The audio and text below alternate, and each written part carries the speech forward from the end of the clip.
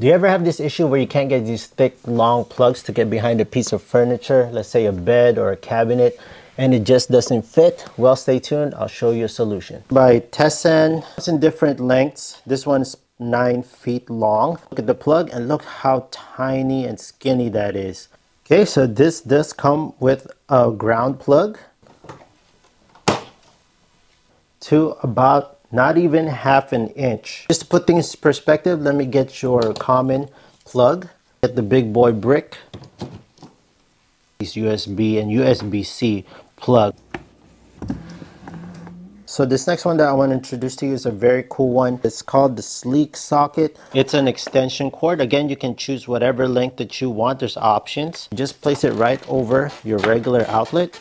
This 90 degree channel. It's double-sided tape